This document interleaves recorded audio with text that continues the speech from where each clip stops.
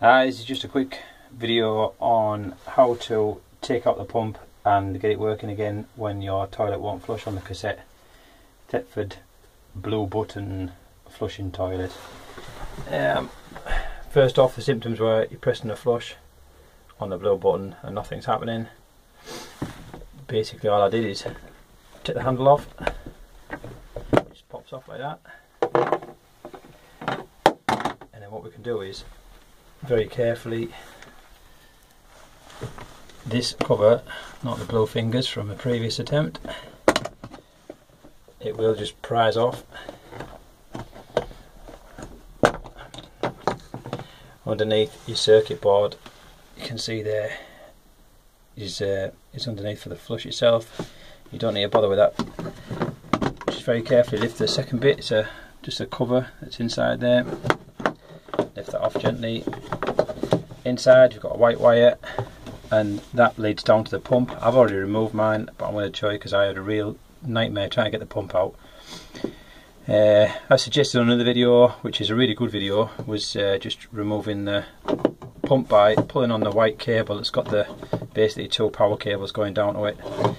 Um, I tried that and I wasn't getting anywhere. Um, and the actual water feed that comes off the pump that flushes to the toilet itself uh, was um, was really it's a really quite a strong pipe and it wasn't having any flex in it so I found it easier to actually grab hold of the hose itself this bit here and um, and actually try and pull the pump out by that itself. I got my hand in as best I could grab that pump uh, the, the, sorry the hose itself and then lifted it out.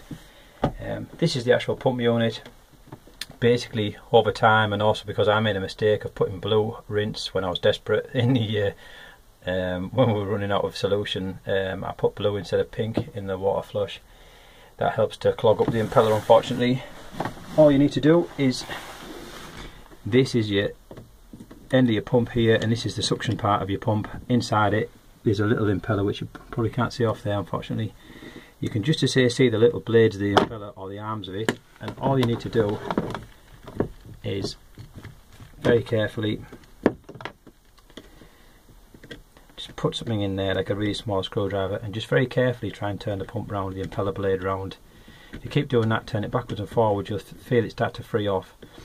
Um, that's basically all you need to do, you just need to clean it out. It's just debris that's built up in there um, from when the water's been stood for a while, especially like say if you make a mistake of putting blue instead of pink in the water.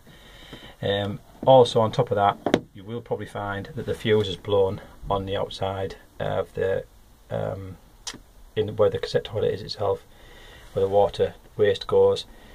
You'll need to replace that fuse. It's a 3 amp fuse, but you can replace it with another 3 amp fuse blade. It's easy. I'll show you that straight away. Um, and I've replaced it with a 5 amp fuse. Other people have done it, and I think it works better. To be honest with you, it's less chance of it tripping out.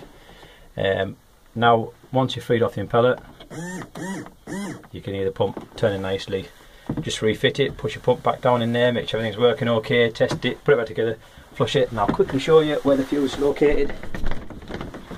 Show a mess.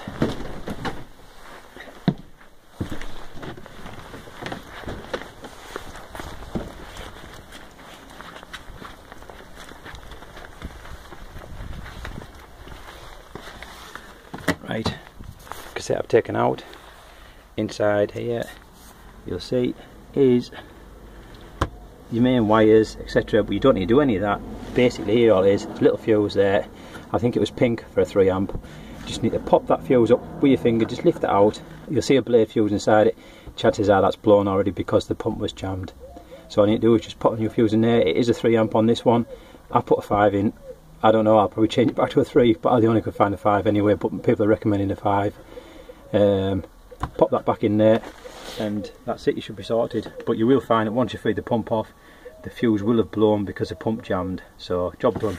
Thank you